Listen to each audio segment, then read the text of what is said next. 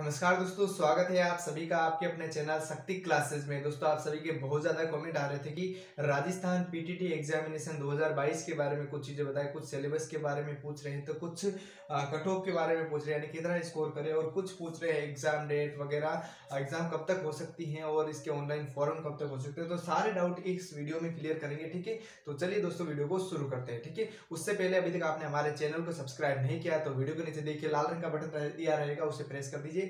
Rajasthan PTT 2022 की complete information जो भी आप डिमांड रखोगे, इस वीडियो में आपको मतलब इस चैनल के माध्यम से आपको दे दी जाएगी, ठीक है? बात करें दोस्तों, सबसे पहले ऑनलाइन फॉर्म है, इसके कब शुरू होंगे?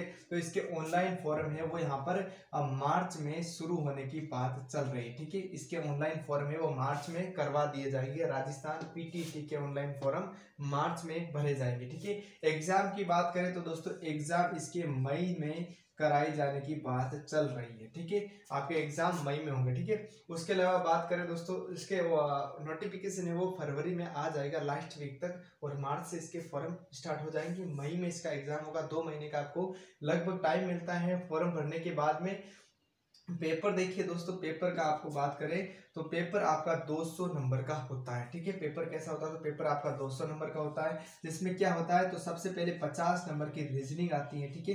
प्लस पचास नंबर का आपका जीके आता है। जीके में राजस्थान जीके और इंडिया जीके मिक्स होता है। बीस परसेंट राजस्थान जीके के और तीस परसेंट इंडिया जीके के। करंट अफेयर साइंस सब इसमें मिक्स आती है, ठीक है?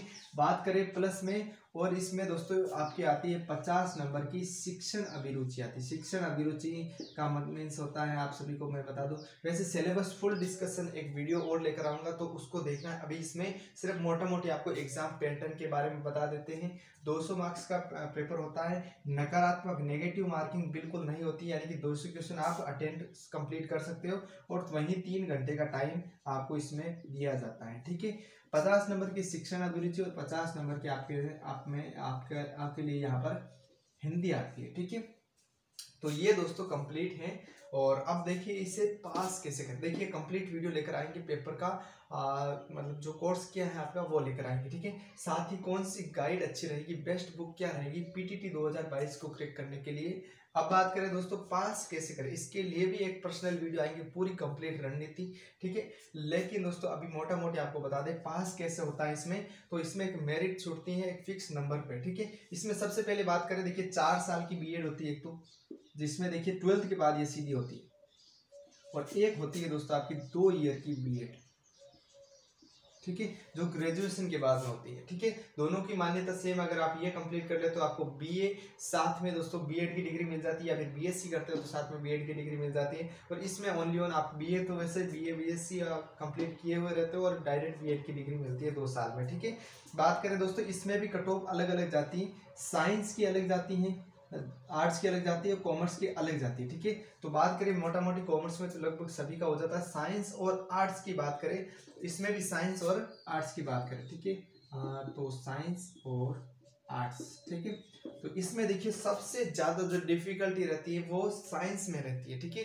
साइंस में एकदम कड़क मामला रहता है और बीएसटीसी की जैसी कट ऑफ़ जाती है वो यहाँ पर जाती है, ठीक है? जैसे कि आप जनरल कैटेगरी से हो तो आपको दोस्तों कहीं ना कहीं कॉलेज 400 नंबर अगर आप लाते हो 400 प्लस नंबर लाते हो तो आपको कहीं ना कहीं कॉलेज मिल जाएगी, ठीक है? लेकिन दोस्तों अगर आप यहाँ पर ओबीसी एस सी आप हिसाब से कम कर लेना दस दस नंबर और बात करें आर्ट्स में तो अगर आप आर्ट्स में 320 नंबर लाते हो 320 प्लस तो आपको कहीं ना कहीं कॉलेज मिल जाएगी, ठीक है?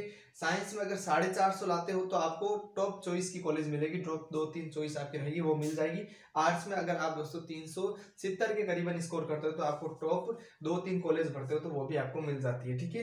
बात करें दोस्तों फोर ईयर में तो फोर ईयर में लगभग यही रहता है आपका आंकड़ा।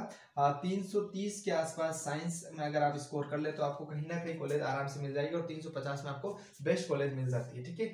आर्ट्स में बात करें तो आर्ट्स में यह आंकड़ा तीन सौ के करीबन रहता है। तीन सौ मार्क्स भी अगर आप कर लेते हो तो आपको कहीं ना कहीं कॉलेज मिल जाती है, ठीक है? ये देखिए दोस्तों पीटीटी के रिगार्डिंग समस्त अपडेट थी। आगे अगर अभी भी आपको कुछ समझ में नहीं आया तो वीडियो को रिवाइंड करके देख लीजिए, या फिर कमेंट कर दीजिए उस पर देखिए, इस पर पर्सनल वीडियो आएगा, इस पर पर्सनल वीडियो आएगा, ठीक है? और ये भी जो भी अपडेट आती रहेगी बार बार वो उस पर आपको वीडियो मिलता रहेगा। तो चैनल को सब्सक्राइब कर लेना, शक्ति क्लासेस पे आपको समस्त अपडेट मिलती रहेगी, ठीक है? मिलेंगे नेक्स्ट वीडियो में, तब तक गुड बाय जय हिंद, जय भारत, वंदे मातरम।